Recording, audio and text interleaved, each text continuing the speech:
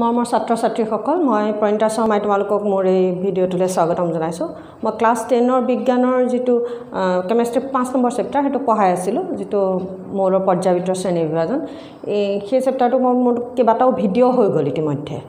আৰু তোমালোকে মোৰ অকল সেইটো চেপ্টাৰ বুলি নহয় বাকী কেইবাটাও চেপ্টাৰ কেমেষ্ট্ৰি ফিজিক্স বায়'লজি মিলাই কেইবাটাও চেপ্টাৰে মোৰ ভিডিঅ' দিয়া হৈছে। গতিকে তোমালোকে মোৰ সেই ভিডিঅ'সমূহ চাবলৈ হ'লে তোমালোকে মোৰ চেনেলটোত গৈ প্লে'লিষ্টত ক্লিক কৰি দিবা তেতিয়া তোমালোকে মোৰ ভিডিঅ'সমূহ একাধিক্ৰমে চাবলৈ সুবিধা পাবা। আৰু ভিডিঅ'সমূহ চাবা চাই যদি কিবা নুবুজা তেতিয়া মোক তোমালোকে কমেণ্ট কৰি জনাবা। তেতিয়া মই সেইখিনি আকৌ অলপ বুজাই দিবলৈ যত্ন কৰিম। বাৰু আজি এতিয়া আমি আহোঁ চেপ্টাৰটোলৈ চেপ্টাৰটো বুলি কওঁতে তাৰমানে আমি কি পঢ়ি আছিলোঁ? ইয়াৰ আগৰ ভিডিঅ'টোত মোৰ মানে পৰ্যাবৃত্ত তালিকাখন পঢ়িছিলোঁ। পৰ্যাবৃত্ত তালিকাখনত বিভিন্ন ধৰ্মবোৰ কেনেধৰণে মানে পৰ্যাবৃত্ত ধৰ্মসমূহ কেনেধৰণে পৰিৱৰ্তন হয় সেই তাৰে আমি যুৰ্যতা আৰম্ভ কৰিছিলোঁ। গতিকে যুৰ্যতা মোৰ পঢ়াই হৈ গ'ল। এই তালিকাখনৰ বিষয়ে ক'লোঁ যুৰ্যতা কেনেকৈ পৰিৱৰ্তন হয় সেইখিনি দেখুৱালোঁ মই। তো আজি আমি এটা পঢ়িম কি পাৰমাণৱিক আকাৰ যিটো পেজ নাম্বাৰ এইট্টি এইটতে আছে। পাৰমাণৱিক আকাৰ ধৰ্মটো পঢ়িম কেনেকৈ সলনি হয়। পৰ্যাবৃত্ত তালিকাতনো পৰমাণুৰ আকাৰ কেনেধৰণে সলনি হয়। গতিকে চাওঁচোন আহা এতিয়া পৰমাণুৰ আকাৰ বুলি কওঁতে মানে পাৰমাণৱিক আকাৰ কৈছে পাৰমাণৱিক আকাৰ কিহৰ ওপৰত নিৰ্ভৰ কৰিব? পাৰমাণৱিক ব্যাসাৰ্ধৰ ওপৰত নিৰ্ভৰ কৰে। এতিয়া পাৰমাণৱিক ব্যাসাৰ্ধ কি? বা পৰমাণু এটাৰ ব্যাসাৰ্ধ কি? আমি সেই অংকত যিটো জ্যামিতিত আমি যিটো ব্যাসাৰ্ধ পাওঁ ৰেডিয়াছ আমি পাওঁ। চাৰ্কুল এটাৰ ৰেডিয়াছ যেনেকৈ উলিয়াই তেনেকৈ তাৰমানে। চাৰ্কুলটোৰ ৰেডিয়াছটো কি হয়? মানে বৃত্তটোৰ কেন্দ্ৰৰ পৰা তাৰ যিটো পৰিধিৰ দূৰত্ব সেই পৰিধিৰ দূৰত্বটোকে কি বুলি কোৱা হয়? বৃত্তৰ ব্যাসাৰ্ধ বুলি কোৱা হয়। তেনেকৈ পৰমাণু এটাৰো ব্যাসাৰ্ধ কি হয়? কথাটো একেটাই যে পৰমাণুটো যেনিবা এইটো পৰমাণু আমি পৰমাণু গঠনবোৰ পাইছিলোঁ এইটো ইয়াত প্ৰটন আৰু নিউট্ৰন থাকে কেন্দ্ৰত। নিউক্লিয়াছটোত আৰু এই ধৰণে কি কৰে কিছুমান কক্ষপথ অৰ্বিট থাকে চেল থাকে শক্তি কক্ষ থাকে।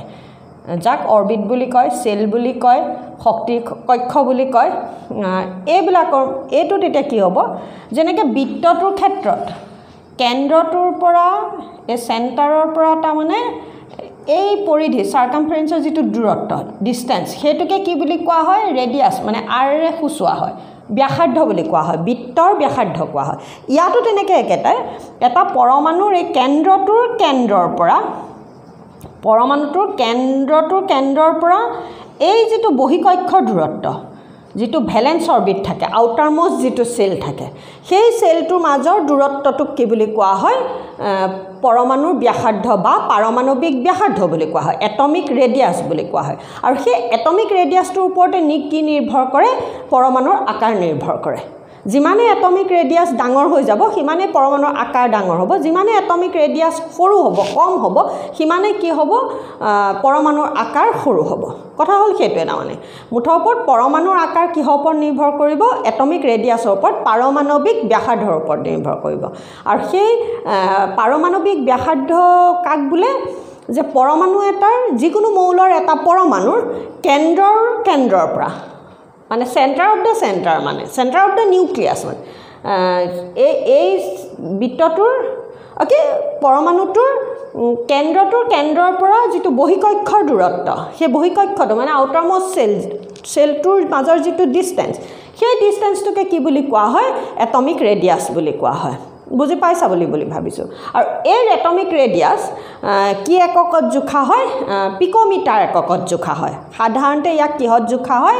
পিক'মিটাৰ এককত জোখা হয়। গতিকে পিক'মিটাৰ কি ওৱান পিক'মিটাৰ ইজুকেল কি ten to the power minus twelve metre. Ten to the power minus twelve মানে কি? One by ten to the power twelve তাৰমানে। এয়া। গতিকে কিমান সৰু চিন্তা কৰি চোৱা। এইটোতো বুজি পাইছা নিশ্চয়। One by ten to the power twelve মানে একৰ লগত বাৰটা শূন্য আছে তাৰ এভাগ মানে। সিমান সৰু মানে গতিকে ওৱান পিক'মিটাৰ মানে। আৰু হাইড্ৰজেন পৰমাণুটোৰ পাৰমাণৱিক ব্যাসাৰ্ধ হৈছে থাৰ্টি ছেভেন পিক'মিটাৰ কাৰ বুলি ক'লোঁ? হাইড্ৰজেনৰ পাৰমাণৱিক ব্যাসাৰ্ধ। হাইড্ৰজেনৰ পাৰমাণৱিক ব্যাসাৰ্ধ কিমান? একদম আহি থকা এটা প্ৰশ্ন। থাৰ্টি ছেভেন পিক'মিটাৰ হ'ব? গতিকে সেই পিক'মিটাৰক আকৌ বোলে হাইড্ৰজেন পৰমাণুটোৰ ব্যাসাৰ্ধ মিটাৰ এককত উলিয়াই দিয়া। তেতিয়া উলিয়াব পাৰিব লাগিব। এইটো ঐকিক নিয়মৰ অংক আৰু এইটো মই এতিয়া শিকাবলৈ নাযাওঁ আৰু। তাৰমানে ওৱান পিক'মিটাৰ যদি ইমান মিটাৰ হয় ten to the power minus twelve metre হয় তেতিয়াহ'লে থাৰ্টি ছেভেন পিক'মিটাৰ আজিকালি কি হ'ব মানে? সেইটো উলিয়ালেই হ'ল আৰু। গতিকে এটা হাইড্ৰজেন পৰমাণুৰ পাৰমাণৱিক ব্যাসাৰ্ধ কিমান? থাৰ্টি ছেভেন পিক'মিটাৰ হ'ব? গতিকে এইটো এটা একদম আহি থকা প্ৰশ্ন। প্ৰথমটো কি ক'লোঁ পাৰমাণৱিক ব্যাসাৰ্ধ বুলিলে কি বুজা? তাৰপিছত হাইড্ৰজেন পৰমাণুটোৰ পাৰমাণৱিক ব্যাসাৰ্ধ কি? পাৰমাণৱিক ব্যাসাৰ্ধ বা পৰমাণুৰ আকাৰ কিহ কি? পৰমাণুৰ আকাৰ কিহৰ ওপৰত নিৰ্ভৰ কৰে? পাৰমাণৱিক ব্যাসাৰ্ধৰ ওপৰত নিৰ্ভৰ কৰে। হাইড্ৰজেন পৰমাণুটোৰ পাৰমাণৱিক ব্যাসাৰ্ধ কিমান? Thirty seven picometre. গতিকে এইকেইটা হ'ল প্ৰশ্ন তাৰমানে। এতিয়া আহিছোঁ মূল প্ৰশ্নটোলৈ। মূল প্ৰশ্নটো বুলি কওঁতে আমি পঢ়িবলৈ আজি আচলতে কি আহিছোঁ? যে পাৰমাণৱিক আকাৰ বা পৰমাণুৰ আকাৰ পৰ্যাবৃত্ত তালিকাখনত কেনেধৰণে পৰিৱৰ্তন হয়? সেইটো আমি পঢ়িব লাগে। গতিকে পৰমাণুৰ আকাৰ পৰ্যাবৃত্ত তালিকাত পৰিৱৰ্তন হওঁতে মই আগতেও কৈছোঁ প্ৰথমতে আমি পৰ্যায়ো ক'ব লাগিব আকৌ প্ৰথমতে দ্বিতীয়তে বুলি নাই মানে পৰ্যায়তো ক'ব লাগিব আৰু বৰ্গতো ক'ব লাগিব। পৰ্যায়ত কেনেকৈ পিৰিয়ড এটাত কেনেকৈ পিৰিয়ড এটাত নহয় পিৰিয়ডবিলাকত মানে কেনেকৈ সলনি হয় আৰু বৰ্গবিলাকত। গ্ৰুপবিলাকত কেনেকৈ সলনি হয় সেইটো লিখিব লাগিব দুইটা লিখিব লাগিব। আৰু এইখিনিতে এটা কথা যদি মই পিৰিয়ডটো মোৰ ভালকৈ মনত আছে পিৰিয়ডটোত কেনেকৈ সলনি হয় মোৰ মনত আছে তেতিয়া তাৰ উভোতাটোৱে বৰ্গ হ'ব উভোতা বাক্যটোৱে বৰ্গত হ'ব মানে। গতিকে এইটো একেবাৰে সহজ এটা মানে সহজ কথা এটা। দেই যে পৰ্যায়টোত আমি যদি ভালকৈ জানো তেতিয়াহ'লে বৰ্গত আমি তাৰ উভোতাটোৱে দুইটা মানে মুখস্থ কৰি থকা কথা নহয় মানে বুজি ল'বা এতিয়া। হ'ল এতিয়া আমি চাওঁ একেবাৰে সহজ একেবাৰেই সহজ আৰু। মন দি চাবা কথাটো। বাৰু এইকণ অকণমান এনেই মহাৰীয়ে লওঁচোন বৰ্ডখন চাফা কৰি লওঁ মই প্ৰথম। এতিয়া কথা হ'ল পৰ্যাবৃত্ত তালিকাৰ পৰ্যায় এটাত মই ইয়াৰ আগৰ ভিডিঅ'টোতো কৈছিলোঁ যেতিয়া আমি এনেকুৱা ধাতৱ ধৰ্ম লিখিম আৰম্ভণি বাক্যাংশ একে হ'ব লাগে। আৰম্ভণি অকণমান কথাকেইটা একে লিখি ল'ম সদায়। একে লিখি ল'ম মানে কি? পৰ্যাবৃত্ত তালিকাৰ পৰ্যায় এটাত বাওঁফালৰ পৰা সোঁফাললৈ পৰমাণু ক্ৰমাংক এক এককৈ বাঢ়ি যোৱাৰ লগে লগে এই বাক্যাংশ সদায় একে হ'ব বুলি কৈছিলোঁ। আৰু বৰ্গটোৰ ক্ষেত্ৰত কি ক'বলৈ কৈছিলোঁ? যে পৰ্যাবৃত্ত তালিকাৰ বৰ্গ এটাত ওপৰৰ পৰা তললৈ ওপৰৰ পৰা তললৈ পৰমাণু ক্ৰমাংক বাঢ়ি যোৱাৰ লগে লগে তাত এক এককৈতো লিখিবলৈ মানা কৰিছিলোঁ। মই ইয়াৰ আগৰ ভিডিঅ'টোত কৈছিলোঁ। মানে যোজ্যতাৰ কথা যেতিয়া পঢ়াইছিলোঁ তেতিয়া কৈছিলোঁ কথাটো। গতিকে ইয়াতো সেই একেখিনিকে। যে মই এইবাৰ পৰ্যায়তনো কি পৰিৱৰ্তন হয় ক'বলৈ ওলাইছোঁ। চোৱা যে পৰ্যায়বৃত্ত তালিকাৰ পৰ্যায় এটাত আমি পৰ্যায় কেইটা পঢ়িছিলোঁ আমি কেলছিয়ামলৈকে মুখস্থ হ'ব লাগিব বুলি কৈছিলোঁ। মুখস্থ নিশ্চয় হৈছে চাগে। কি আছিলে? Hydrogen helium lithium beryllium boron carbon nitrogen oxygen fluorine neon sodium magnesium aluminium silicon phosphorus sulphur chlorine argon potassium calcium. গতিকে আমি চাৰিখন বেঞ্চ মানে চাৰিটা পৰ্যায় পঢ়ি থৈছিলোঁ। হ'ল চাৰিটা পৰ্যায় মানে বিছ নম্বৰ মৌললৈকে মুখস্থ কৰি থৈছিলোঁ। তাৰে দুটা পৰ্যায় দুই আৰু তিনি যিকেইটা চুটি পৰ্যায় সেই চুটি পৰ্যায়কেইটা আমাৰ সম্পূৰ্ণকৈ মুখস্থ আছে আকৌ। আৰু এই চুটি পৰ্যায়কেইটাত দুইটাতে কেইটাকৈ মৌল আছে আঠটাকৈ মৌল আছে। আমি জানো আকৌ সেইখিনি মই একদম ইয়াৰ যিটো পৰ্যাপ্ত তালিকাখন যেতিয়া পঢ়াইছোঁ ইয়াৰ আগৰ আগৰ ভিডিঅ'টো মানে।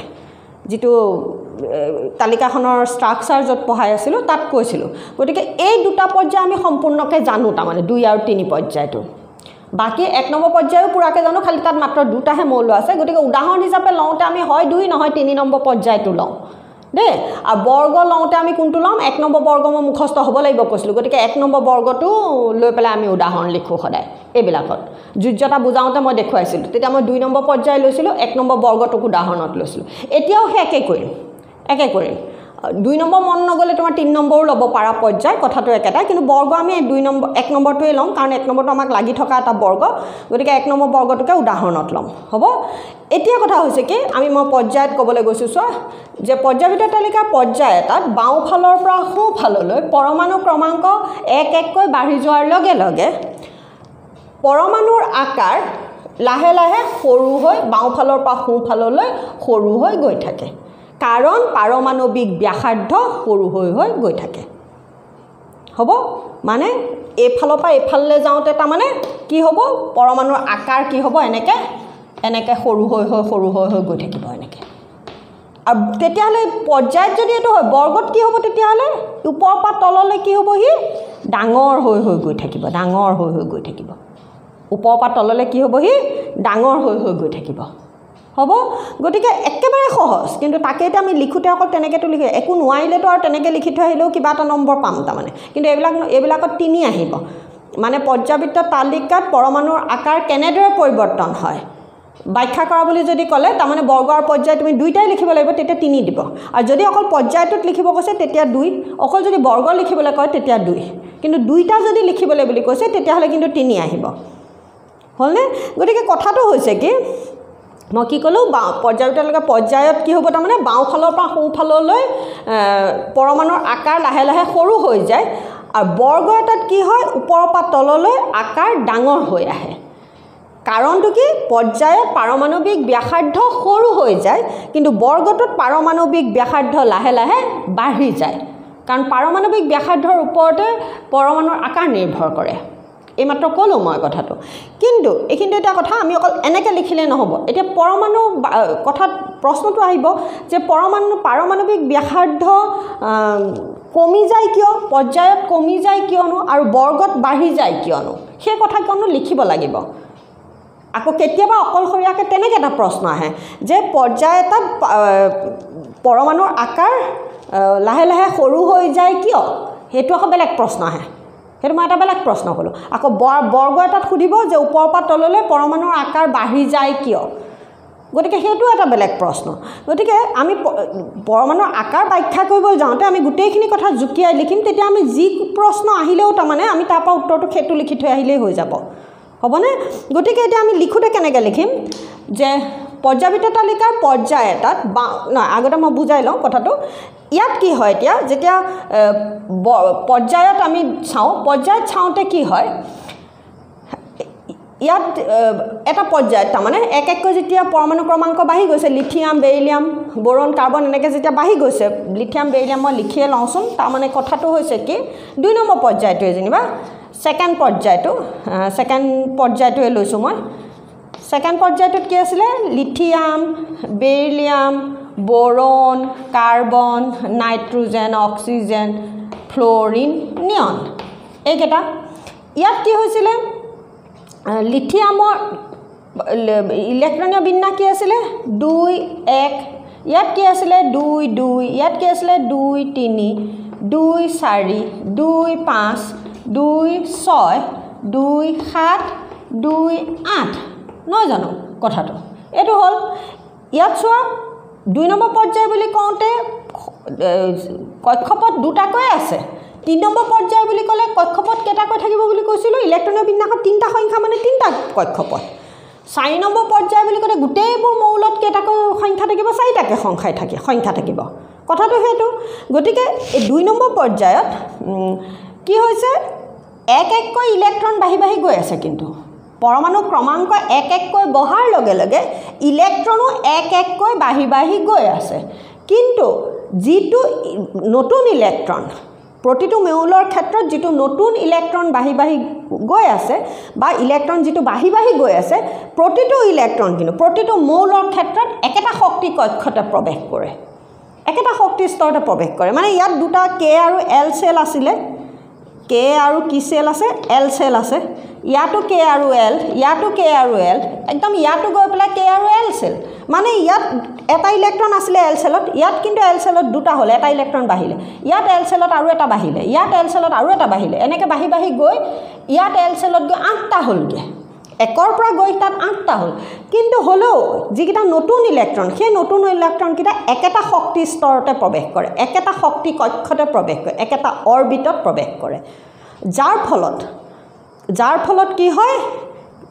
পৰমাণুটোৰ কেন্দ্ৰ এই পৰমাণুৰ কেন্দ্ৰ আৰু বহিকক্ষৰ মাজৰ যিটো আকৰ্ষণী বল আকৰ্ষণী বল এট্ৰেকশ্যন যিটো এট্ৰেক্টিভ যিটো ফ'ৰ্চ সেই ফ'ৰ্চটো কি হৈ যায়? বাঢ়ি যায়। নিউক্লিয়াছ আৰু বহিকক্ষৰ মাজৰ যিটো আকৰ্ষণী বল সেই আকৰ্ষণী বল কি হৈ যায়? বাঢ়ে। ক'ত? পৰ্যায়ৰ ক্ষেত্ৰত। যাৰ ফলত পৰমা পাৰমাণৱিক ব্যাসাৰ্ধ সৰু হৈ যায় আৰু পৰমাণুৰ আকাৰ লাহে লাহে সৰু হৈ যায়। বুজি পাইছা বুলি ভাবিছোঁ। মই কথাটো কি ক'লোঁ? এতিয়া মন দি শুনিবা। পৰ্যাবৃত্ত তালিকাৰ পৰ্যায় এটাত বাওঁফালৰ পৰা সোঁফাললৈ পৰমাণু ক্ৰমাংক এক এককৈ বঢ়াৰ লগে লগে ইলেক্ট্ৰনৰ সংখ্যাও এক এককৈ বাঢ়িবলৈ আৰম্ভ কৰে। কিন্তু নতুন ইলেক্ট্ৰনটোৱে প্ৰতিটো প্ৰতিটো মৌলৰ ক্ষেত্ৰত নতুন ইলেক্ট্ৰনটোৱে একেটা শক্তি স্তৰতে প্ৰৱেশ কৰে। কাৰণ শক্তি স্তৰৰ সংখ্যা এটা পৰ্যায়ত স্থিৰ হৈ থাকে। যাৰ ফলত পৰমাণুৰ কেন্দ্ৰ আৰু বহিকক্ষৰ মাজৰ আকৰ্ষণী বল বাঢ়িবলৈ আৰম্ভ কৰে আৰু ইয়াৰ ফলত পাৰমাণৱিক ব্যাসাৰ্ধ কমিবলৈ আৰম্ভ কৰে আৰু সেইবাবেই পৰমাণুৰ আকাৰ লাহে লাহে সৰু হৈ গৈ থাকে। বাওঁফালৰ পৰা সোঁফাললৈ সৰু হৈ গৈ থাকে। বুজি পাইছা বুলি ভাবিলোঁ। হ'বনে? কি ক'লোঁ যে বাওঁফালৰ পৰা সোঁফাললৈ পৰমাণু ক্ৰমাংক এক এককৈ বাঢ়ি মানে পৰ্যায় পৰ্যাপিত তালিকাৰ পৰ্যায় এটাত বাওঁফালৰ পৰা সোঁফাললৈ পৰমাণু ক্ৰমাংক এক এককৈ বাঢ়ি যোৱাৰ লগে লগে ইলেক্ট্ৰনৰ সংখ্যাও এক এককৈ বাঢ়িবলৈ আৰম্ভ কৰে। কিন্তু সেই নতুন ইলেক্ট্ৰনবোৰ একেটা শক্তি স্তৰতে প্ৰৱেশ কৰে যিহেতুকে এটা পৰ্যায়ত শক্তি স্তৰ স্থিৰে থাকে। আৰু যিহেতুকে শক্তি স্তৰত ইলেক্ট্ৰনৰ সংখ্যা বাঢ়ি বাঢ়ি গৈ থাকে সেইবাবে পৰমাণুৰ কেন্দ্ৰ আৰু বহিকক্ষৰ মাজৰ আকৰ্ষণী বল বাঢ়িবলৈ আৰম্ভ কৰে আৰু ইয়াৰ ফলত পাৰমাণৱিক ব্যাসাৰ্ধ কমিবলৈ ধৰে। আৰু সেইবাবে কি হয় পৰমাণুৰ আকাৰ বাওঁফালৰ পৰা সোঁফাললৈ যাওঁতে লাহে লাহে সৰু হৈ গৈ থাকে। বছ হৈ গ'ল। তেতিয়াহ'লে তাৰ উভোতাটো বৰ্গত। উভতাটো বৰ্গ তাৰপিছত উদাহৰণস্বৰূপে বুলি কয় এই মই যেনেকৈ লিখিছোঁ তেনেকৈ লিখিব লাগে। লিখোঁতে তাৰমানে উদাহৰণস্বৰূপে কি লিখিম? লিথিয়াম আটাইতকৈ ডাঙৰ এই এনেকৈ এইটো লিখিলা এয়া লিখিলোঁ। এই উদাহৰণস্বৰূপে দ্বিতীয় পৰ্যায়ৰ মৌলসমূহ বুলি কৈ এয়া লিখিলোঁ নহয়। লিখি পেলাই আমি কি কৰিম? সদায় পৰ্যায় মই এনেকৈ পথালিকৈ উদাহৰণ ল'বলৈ কৈছিলোঁ বৰ্গ মই এনেকৈ দীঘলকৈ লিখিবলৈ কৈছিলোঁ দেই। বৰ্গ আকৌ এনেকৈ পথালিকৈ উদাহৰণ লিখিবলৈ মানা কৰিছিলোঁ আকৌ ইয়াৰ আগৰ ভিডিঅ'টোত। গতিকে ইয়াত এতিয়া কি লিখিম? পৰমাণুৰ আকাৰ কি হ'ব? আকাৰ কি হ'ব ইয়াত? পৰমাণুৰ আকাৰ কমে। আকাৰ কমে। হ'লনে? ই কি হ'ব? আটাইতকৈ ডাঙৰ। আটাইতকৈ ডাঙৰ। আৰু ই কি হ'ব? আটাইতকৈ সৰু। আটাইতকৈ সৰু। আটাইতকৈ সৰু মৌল। দ্বিতীয় পৰ্যায় আটাইতকৈ ডাঙৰ মৌলটো কি তেতিয়াহ'লে? লিথিয়াম। আটাইতকৈ সৰু মৌলটো কি? নিয়ম। হ'ল তেনেকৈ তিনি নম্বৰ পৰ্যায় আটাইতকৈ ডাঙৰ মৌলটো কি? আকাৰত ডাঙৰটো কি? ছডিয়াম। আটাইতকৈ সৰুটো কোন? আৰ্গন। কথা লিবানে হ'বনে? এইবাৰ আহিছোঁ বৰ্গত এইটো এনেকৈ উদাহৰণস্বৰূপে দ্বিতীয় নম্বৰ পৰ্যায়ৰ মৌলসমূহ বুলি কয়। এইধৰণে মই যেনেকৈ লিখি দিছোঁ তেনেকৈ লিখি আহিলেই হ'ব আৰু। এইবাৰ হৈছে বৰ্গত যে পৰ্যাপিত তালিকাৰ বৰ্গ এটাত ওপৰৰ পৰা তললৈ পৰ্যাপিত তালিকাৰ বৰ্গ এটাত ওপৰৰ পৰা তললৈ পৰমাণু ক্ৰমাংক বঢ়াৰ লগে লগে এক এককৈ নাই কোৱা মই। ওপৰৰ পৰা তললৈ পৰমাণু ক্ৰমাংক বঢ়াৰ লগে লগে ইলেক্ট্ৰনৰ সংখ্যাও বাঢ়িবলৈ আৰম্ভ কৰে। কিন্তু সেই বাঢ়ি যোৱা নতুন ইলেক্ট্ৰনবোৰ একেটা শক্তি স্তৰতে প্ৰৱেশ নকৰে। কাৰণ বৰ্গত ওপৰৰ পৰা তললৈ শক্তি স্তৰৰ সংখ্যা এক এককৈ বাঢ়িবলৈ আৰম্ভ কৰে। শক্তি স্তৰ মানে অৰ্বিটৰ সংখ্যা এক এককৈ বাঢ়িবলৈ আৰম্ভ কৰিব। কক্ষপথৰ সংখ্যা এক এককৈ বাঢ়িব। চোৱা এক নম্বৰ পৰ্যায়ত এটা আছিলে দুই নম্বৰত দুটা হ'ল তিনি নম্বৰত আৰু এটা বাঢ়ি তিনিটা হ'ল চাৰি নম্বৰত চাই আৰু এটা বাঢ়িলে পাঁচ নম্বৰত আৰু এটা বাঢ়ি পাঁচটা হ'ল ছয় নম্বৰত আৰু এটা বাঢ়ি ছটা শক্তি স্তৰ হ'ব সাত নম্বৰত আৰু এটা বাঢ়ি সাতটা হ'ব মানে এক এককৈ বাঢ়িছে। মই কি ক'লোঁ পৰ্যাপিত তালিকা বৰ্গ এটাত ওপৰৰ পৰা তললৈ পৰমাণু ক্ৰমাংক বঢ়াৰ লগে লগে শক্তি স্তৰৰ সংখ্যাও কি হয়? এক এককৈ বাঢ়িবলৈ আৰম্ভ কৰে। যাৰ ফলত নতুন ইলেক্ট্ৰনসমূহ একেটা শক্তি স্তৰতে প্ৰৱেশ নকৰে নতুন শক্তি স্তৰত প্ৰৱেশ কৰে। আৰু ইয়াৰ ফলত পৰমাণুৰ কেন্দ্ৰ আৰু বহিকক্ষৰ মাজৰ আকৰ্ষণী বল তুলনামূলকভাৱে কমিবলৈ আৰম্ভ কৰে যাৰ যাৰ বাবে পাৰমাণৱিক ব্যাসাৰ্ধ বাঢ়িবলৈ ধৰে। আৰু এইবাবে কি হয় পৰমাণুৰ আকাৰ বৰ্গত ওপৰৰ পৰা তললৈ ডাঙৰ হৈ গৈ থাকে। একদম মানে একেবাৰেই সহজ আৰু একেবাৰেই সহজ মুঠতে। পাৰিবানে বাৰু? পাৰিম যেন লাগিছে ন? তাৰপাছত এতিয়া উদাহৰণস্বৰূপে কি লিখিম তেতিয়াহ'লে? উদাহৰণস্বৰূপে আমি কেনেকৈ লিখিম? এক নম্বৰ বৰ্গৰ মৌলকেইটা বুলি লিখিবা। যে উদাহৰণস্বৰূপে এক নম্বৰ বৰ্গৰ মৌলকেইটা হৈছে এক নং বৰ্গ এক নং বৰ্গ। এনেকৈ কাষত নিলিখিবা দেই বহীখনৰ মাজত লিখিবা আকৌ। মোৰ এতিয়া এইখিনিতে জেগা নহ'ব বুলিহে মই ইয়াত লিখিছোঁ। ইয়াতো হ'ব পিছে একেবাৰে নোহোৱা নহয়। তোমালোকে আকৌ মই এনেকৈ লিখিছোঁ বুলি এনেকৈ লিখি থৈ আহিবা নহয়। এক নং বৰ্গ বৰ্গমৌল। কি আছে? Hydrogen lithium sodium potassium rubidium caesium এইটো চিজিয়াম বৰ্ডখন আকৌ মাজে মাজে নেদেখা হয় নহয় মোৰ। এয়া দেখিছা বুলি ভাবিছোঁ মই। দেখিছানে বাৰু? তললৈ লিখিম মুঠতে। অঁ দেখিছোঁ মানে। গতিকে এইধৰণে লিখিম মুঠতে। এই দীঘলকৈ লিখিম বহীখনৰ মাজত লিখিবা। এনেকৈ মই লিখাৰ নিচিনা মইতো ছাইডত লিখিছোঁ মানে জাগা বিচাৰিহে ছাইডত লিখিছিলোঁগৈ। এয়া এইটো ক্ষেত্ৰত কি হ'ব? পৰমাণু ক্ৰমাংক এইফালে বাঢ়িব কিন্তু পাৰমাণৱিক ব্যাসাৰ্ধ কি হ'ব? এইধৰণে তাৰমানে। পৰমাণুৰ আকাৰ কি হ'ব? আকাৰ বাঢ়ে। আকাৰ ইটোত বাঢ়ে লিখিছিলোঁ নেকি আকৌ? কমে লিখিব মই। আকাৰ বাঢ়ে। হ'লনে? পৰমাণুৰ আকাৰ এইফালে বাঢ়িব। মই সিটোত যদি কি লিখিছিলোঁ পাই লিখোঁতে খেলি মেলি লাগি যায়েই নহয়। এইফালৰ পৰা এইফালে পৰ্যায়ত যদি লিখিছিলোঁ ভুলকৈতো চৰি দেই যদি ভুলকৈ লিখিছিলোঁ। মই এতিয়া পাহৰি গ'লোঁ মই একজন আকৌ লিখি তেনেকৈ এইফালৰ পৰা এইফালে কিন্তু সেইটো কি হ'ব বুলি কৈ আছোঁ বুজাওঁতে মই ঠিকে বুজাই আছোঁ এইফালৰ পৰা এইফালে কমিব কিন্তু। এই লিখোঁতে হয়তো মোৰ কিবা এটা গণ্ডগোল হ'ব পাৰে বুলি ভাবিছোঁ কিন্তু বৰ্গত কি হ'ব ওপৰৰ পৰা তললৈ এনেকৈ তাৰমানে এই কাঁড়ডাল যে মাৰিছোঁ ওপৰৰ পৰা তললৈ পৰমাণুৰ আকাৰ বাঢ়ে। আৰু এইটো কি হ'ব? এইটো কি হ'ব? আটাইতকৈ সৰু। এইটো কি হ'ব? এক নম্বৰ বৰ্গ আটাইতকৈ সৰু। আৰু এইটো কি হ'ব? আটাইতকৈ ডাঙৰ। এইটো লিখোঁতে মই ঠিকেই লিখিছিলোঁ কিন্তু এই বাঢ়ে কমেটো মোৰ সন্দেহ লাগিছে। আটাইতকৈ ডাঙৰ এইটো। আটাইতকৈ ডাঙৰ এইটো। হ'বনে? গতিকে এয়া হ'ল বৰ্গত। এই এয়া হ'ল বৰ্গৰ উদাহৰণ। আৰু এই এয়া লিখাৰ এইটো লিখিলে এয়া পঢ়িলে এইটো মানে আৰু পঢ়িবলৈ নাই আৰু। যিকেইটা ক'বলগীয়া আছিলে ক'লোৱে মই বেছিয়ে ক'লোঁ কিতাপতকৈ অকণমান কিতাপতকৈ মই বেছিয়ে ক'লোঁ। আৰু সেই মানে পৰমাণু ক্ৰমাংক বঢ়াৰ লগে লগে বুলি যে কথাটো আছে সেইটো নিউক্লিয় আধান বুলিও কয় আকৌ দেই। গতিকে মই আৰু এবাৰ চোৱা এইটো পৰ্যায়টো কৈছোঁ যে পৰ্যায়ভিত্তিক তালিকা পৰ্যায় এটাত বাওঁফালৰ পৰা সোঁফাললৈ পৰমাণু ক্ৰমাংক এক এককৈ বঢ়াৰ লগে লগে নিউক্লিয়াছত নিউক্লিয় আধান এক এককৈ বাঢ়ে। সেই পৰমাণু ক্ৰমাংক এক এককৈ বাঢ়ে মানে নিউক্লিয় আধান এক এককৈ বাঢ়ে কথা একেটাই আকৌ। কথা একেটাই। তোমাৰ কিতাপত হয়তো নিউক্লিয় আধানটো দেখি তোমালোকে আকৌ মোৰ এতিয়া পটককৈ মনত লাগিলে। সেইকাৰণে মই আকৌ ক'লোঁ প্ৰটনৰ সংখ্যা বঢ়াৰ লগে লগে মানে নিউক্লিয়াছটোৰ ভিতৰত প্ৰটন থাকে প্ৰটন ধনাত্মকভাৱে আহিত। সেইখিনি জানা বুলি ধৰি লৈছোঁ মই নাইনতে পঢ়ি অহা কথা।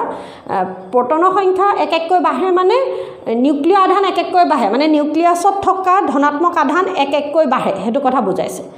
যে বাওঁফালৰ পৰা সোঁফাললৈ পৰমাণু ক্ৰমাংক এক এককৈ বঢ়াৰ লগে লগে নিউক্লিয়াছৰ ভিতৰত নিউক্লিয় আধান এক এককৈ বাঢ়ে। তাৰ সমানে সমানে কিন্তু ইলেক্ট্ৰনৰ সংখ্যাও এক এককৈ বাঢ়ে। কিন্তু পৰ্যায়ত এটা পৰ্যায়ত কি হয় শক্তিস্তৰ যিহেতুকে স্থিৰে থাকে যাৰ বাবে নতুন ইলেক্ট্ৰনসমূহ একেটা শক্তিৰ স্তৰতে প্ৰৱেশ কৰে। আৰু ইয়াৰ ফলত নিউক্লিয়াছ আৰু বহিকক্ষৰ মাজৰ আকৰ্ষণী বল বাঢ়ে আৰু পাৰমাণৱিক ব্যাসাৰ্ধ কমে আৰু পাৰমাণৱিক আকাৰো লাহে লাহে সৰু হৈ যায়। কথা সিমানেই তাৰমানে। সেই আকৌ তেনেকৈ বৰ্গত কি ক'লোঁ যে ওপৰপা তললৈ পৰমাণু ক্ৰমাংক বঢ়াৰ লগে লগে নিউক্লিয় আধানো বাঢ়িব। এক এককৈ বাঢ়িব বুলি কোৱা নাই তাৰমানে নিউক্লিয় আধানো বাঢ়ে কিন্তু বৰ্গত কি হয় শক্তি স্তৰৰ সংখ্যা এক এককৈ বাঢ়ে। ফলত নতুন ইলেক্ট্ৰনবোৰ একেটা শক্তি স্তৰত প্ৰৱেশ নকৰে। নতুন নতুন শক্তি স্তৰত প্ৰৱেশ কৰে। ইয়াৰ ফলত নিউক্লিয়াছ আৰু বহিকক্ষৰ মাজৰ যোজক কক্ষৰ মাজৰ তাৰমানে আকৰ্ষণী বল কমিবলৈ ধৰে ফলত পাৰমাণৱিক ব্যাসাৰ্ধ বাঢ়ে আৰু নিউ পৰমাণুৰ আকাৰ লাহে লাহে ডাঙৰ হৈ গৈ থাকে। কথা সিমানেই আৰু। গতিকে এইখিনিকে মই পঢ়ালোঁ দুবাৰমানেই ক'লোঁ দুই তিনিবাৰমানেই কৈ থাকিলোঁ। তোমালোকে এইখিনি অকণমান কিতাপখনত পঢ়িবা কিতাপখন মই নাই পঢ়া দেই। পেজ নাম্বাৰ এইটি এইটত আছে পাৰমাণু পাৰমাণৱিক আকাৰ। তাৰপিছতে কাৰ্যকলাপত দিছে দ্বিতীয় থ্ৰী ফাইভ পইণ্ট ছেভেন কাৰ্য পৰ্যায় এটাৰ মৌল দ্বিতীয় পৰ্যায়ৰ মৌলবৰ পাৰমাণৱিক ব্যাসাৰ্ধ তলত দিয়া হৈছে। গতিকে এইটো কাৰ্যকলাপহে দিছে। আহিব লাগে মই তথাপি দিছে। ইহ তাৰপিছত যে সংখ্যাবোৰ মুখস্থ কৰিব লাগিব বুলি ভবা নাই তথাপি অকণমান চাই থবা। তথাপি তাৰপিছত যে দিছে ইহঁতক পাৰমাণৱিক ব্যাসাৰ্ধৰ অৰ্ধক্ৰমত সজোৱা। এইবোৰ প্ৰশ্ন মানে। ফাইভ পইণ্ট ছেভেন যিটো কাৰ্যকলাপ দিছে সেইকেইটা প্ৰশ্ন মুঠতে। ইহঁতৰ মানে দ্বিতীয় পৰ্যায়ৰ মৌলকেইটাক পাৰমাণৱিক ব্যাসাৰ্ধৰ অধক্ৰমত অধক্ৰমত সজাব কৈছে। অধক্ৰম বুলি কওঁতে ডাঙৰৰ পৰা সৰুলৈ সজাব লাগে। মানে তুমি মৌলকেইটা লিথিয়াম বেৰিলিয়াম এনেকৈ বা ছডিয়াম মেগনেছিয়াম এইবোৰ এনেকৈ লিখি গ'লেই হ'ল। তেনেকৈ লিখি গ'লে উৰ্ধক্ৰম বুলি কওঁতে আকৌ উভোটাকৈ লিখিব লাগিব মানে। উভোটাকৈ লিখি আনিব লাগিব। সেইটো বুজি পোৱা নিচিনা অৰ্ধক্ৰম আৰু উৰ্ধক্ৰম অৰ্ধক্ৰম মানে সৰু হৈ হৈ য'লৈ সৰু হৈ যাব সেইটো ক্ৰমত লিখিব ডাঙৰৰ পৰা সৰুলৈ লিখিব। উৰ্ধক্ৰম মানে সৰুৰ পৰা ডাঙৰলৈ লিখিব কৈছে। গতিকে বৰ্গত তুমি অৰ্ধক্ৰম বুলি কওঁতে এনেকৈ লিখিলে নহ'ব তাৰমানে। লিখিব কেনেকৈ লাগিব? অৰ্ধক্ৰম বুলি কওঁতে ফ্ৰেঞ্চ নিয়াম আগত চিজিয়াম এয়া উভোটাকৈ লিখি আনিব লাগিব। বস্তুটো বুজি পাইছা নিশ্চয়? তাৰপাছত এতিয়া মৌলকেইটা পৰ্যায়বৃত্ত তালিকা পৰ্যায় এটাৰ দৰে সজ্জিত হ'লনে? অঁ যদি অৰ্ধক্ৰমত সজাওঁ তেতিয়াহ'লে এটা পৰ্যায়ৰ নিচিনাকৈ সজ্জিত হৈ যাব। তাৰপিছত কোনটো মৌলৰ পৰমাণু আটাইতকৈ ডাঙৰ কোনটো আটাইতকৈ সৰু? কৈছোঁৱে আকৌ দেই। কোনটো মৌল আটাইতকৈ ডাঙৰ কোনটো মৌল আটাইতকৈ সৰু ক'লোঁ আকৌ। এটা পৰ্যায়ত ই হ'ব আটাইতকৈ ডাঙৰ দুই লিথিয়াম। সেইটো পৰ্যায়তে নিয়ন হ'ব কি আটাইতকৈ সৰু? তেনেকৈ এই বৰ্গটোত কি হ'ব? এই ফ্ল'ৰিন কি হ'ব? আটাইতকৈ সৰু আকাৰত। এই এণ্টিমনি কি হ'ব? আটাইতকৈ ডাঙৰ আকাৰত। কথাটো তেনেকুৱা মানে ওপৰৰ পৰা তললৈ যাওঁতে সি ডাঙৰ হৈ আহিব। এইফালৰ পৰা এইফালে যাওঁতে কিন্তু কি হ'ব? সৰু হৈ যাব। কথাটো সেইটোৱে আৰু। গতিকে অৰ্ধক্ৰম ঊৰ্ধক্ৰমটো একদম আহি থকা প্ৰশ্ন আকৌ। যে তাৰপিছত পৰ্যায় এটাত বাওঁফালৰ পৰা সোঁফাললৈ গ'লে কিদৰে পাৰমাণৱিক ব্যাসাৰ্ধৰ পৰিৱৰ্তন ঘটে ব্যাখ্যা কৰা আহিব। তেনেকৈ বৰ্গ এটাত কিদৰে হয় ব্যাখ্যা কৰা বুলিও আহিব। এতিয়া মই বুজালোঁ সেইখিনি আৰু গাই নাথাকোঁ মই। তেনেকৈ এইফালে এটা কাৰ্যকলাপ ফাইভ পইণ্ট এইটতো তেনেকৈ দিছে।